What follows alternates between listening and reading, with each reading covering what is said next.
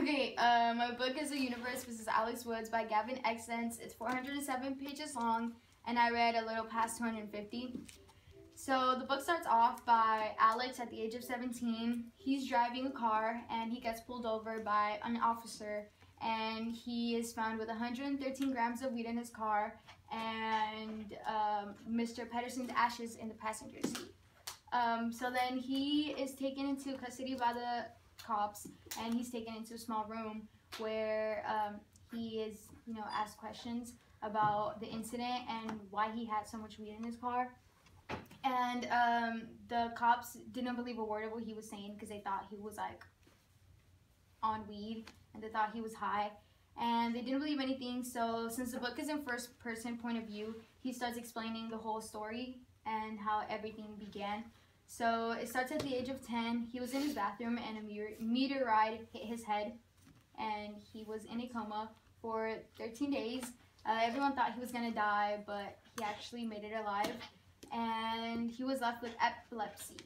Um, he spent a year without going to school. He stayed homeschool because of his epileptic fits and like he would have seizures and everything. So he wasn't allowed to go to school.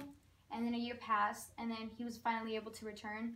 And um, when he returned, because his mom was a fortune teller and she didn't really spend like you know much time, and everyone it was a really small town, so everyone kind of knew what his mom did. So he got bullied a lot, even though it wasn't physically. It was like a lot of like mental bullying. And then one day it got like really like serious, and like the kids who bullied him started chasing him, and he landed at Mr. Peterson's house where he broke his uh, greenhouse his mom came over then, and then they started discussing about how he needed to fix it. So she made a deal with Mr. Peterson that he would come over and help him uh, do chores.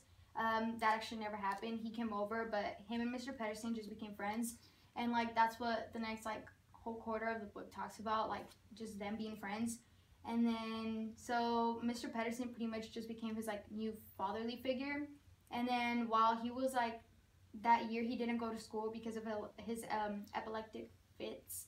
Um, he did a lot of reading and he studied a lot of like outer space and like meteorite stuff because of like that's what happened to him and like it really intrigued him and he really wanted to learn about the universe and that was something him and Mr. Peterson had in common. So yeah, they started a book club and then um, yeah, that's where the 250 pages and like them starting the book club. All right. Um, so is the book like is it based on a true story? No, this is a fiction book. Oh, okay. Uh, what do you like most about the book so far? Uh, what I like mostly about the book is, um, I like how it's like really, even though it's a fiction book, it has a lot of like real life scenarios, mm. and I like how he didn't need to have like, I don't know, I like how Mr. Patterson became that fatherly figure. So yeah, that's where the book ends. That's where the 250 pages end.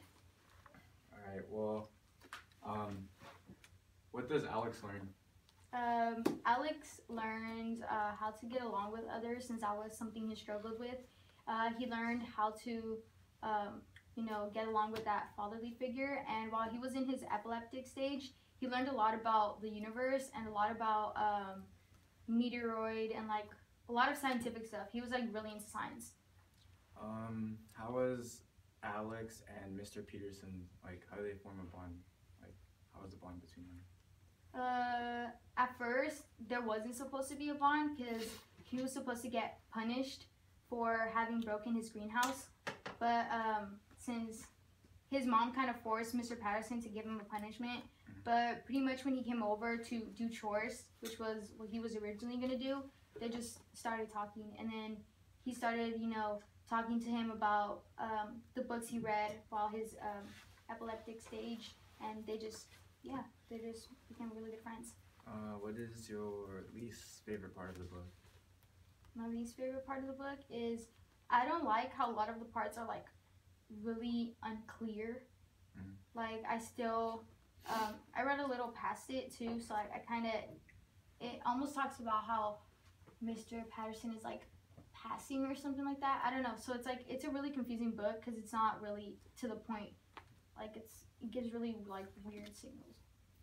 All right. Well, the book I read is Percy Jackson, The Son of Neptune, and it's the second book in the series because I already read the first one. Um, it's about 510 pages, and I've read 270 to 60 so far. Uh, so the book starts off uh, at Percy's like brainwashed. He doesn't remember anything because in the previous book, he was kidnapped and he was brainwashed. So it starts off in this book. It starts off he's running from two monsters and he can't kill them and they can't kill him either because uh, he has a mark of Achilles, Achilles, which means that like his skin is like invincible. It's like thick iron, but there's like one weak spot and they can't find it. But they can't die also because no matter how much times Percy kills them, they turn to dust, but they keep reforming. And the reason for that is because uh, the the gateway of death is open by Gaia, who's the god of Earth or goddess of Earth, something like that. But it's open, and that's bad because that means like all the monsters that were dead are resurrecting, and all the monsters right now can't die. And since she controls that, if they kill like, for example, Percy, like they can trap him in there. So, but in the beginning they didn't know that part yet until later. So as he, uh, Percy's running from them, he stumbles upon Juno, who is a goddess, and Juno leads him into a Roman camp, which uh, Juno